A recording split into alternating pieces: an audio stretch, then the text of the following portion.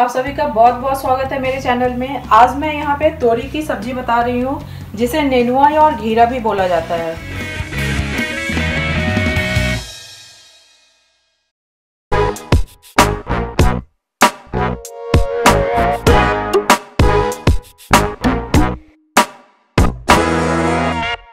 तोरी मैंने यहाँ पे 500 ग्राम लिया है, दो मीडियम साइज़ के प्याज चना दाल वन फोर्थ कप मैंने दो तीन, दो घंटे पहले से भिगो के रख दिए थे।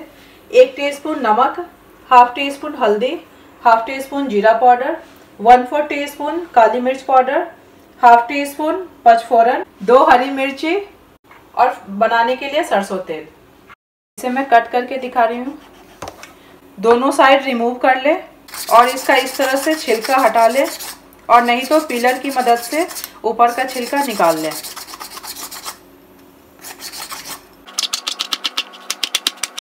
गैस फ्लेम को ऑन कर लेंगे और इसे कुकर में ही बनाएँगे। कुकर में चना दाल बहुत अच्छे से जल्दी पक जाता है। इसमें डालेंगे दो टेबल स्पून के करीब सरसों तेल। जब तेल गरम हो जाए तो इसमें डालेंगे पंच फोरन। अब ये गरम हो गया है।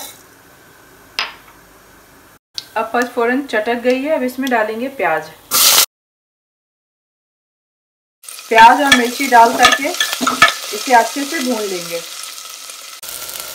प्याज को मैंने मीडियम फ्लेम पे पाँच मिनट तक भुना है। अब ये ब्राउन होना शुरू हो गया अब इसमें डालेंगे तोरी।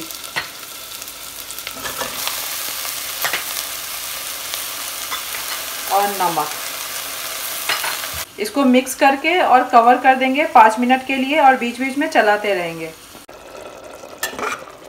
बीच बीच में इसे चलाते रहें। फ्लेम को मीडियम ही रखना है। और ये देखिए तोरी अपना मॉइस्चर धीरे धीरे छोड़ रहा है। अभी तोरी और प्याज को जितने अच्छे से भूनेंगे, उतनी अच्छी हमारी सब्ज़ी बनेगी।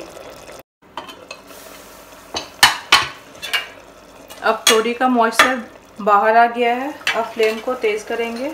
अब इसमें हल्दी और चना मैंने दो घंटे पहले भिगो के रखे थे। इसे भी इसमें डाल देंगे। इसको मिक्स करके थोड़ी देर और पकाएँगे। अभी अच्छे से भुन गया है, पानी भी सूख गया है। तो इसमें डालेंगे एक कप से थोड़ा कम पानी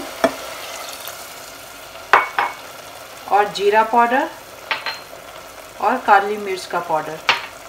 और इसको मिक्स करके दो सीटी लगाएँगे। दो से तीन सीटी आने देंगे जिससे ये अच्छे से कुक हो जाए। इसमें तीन सीटी तक आने तक पकाना है।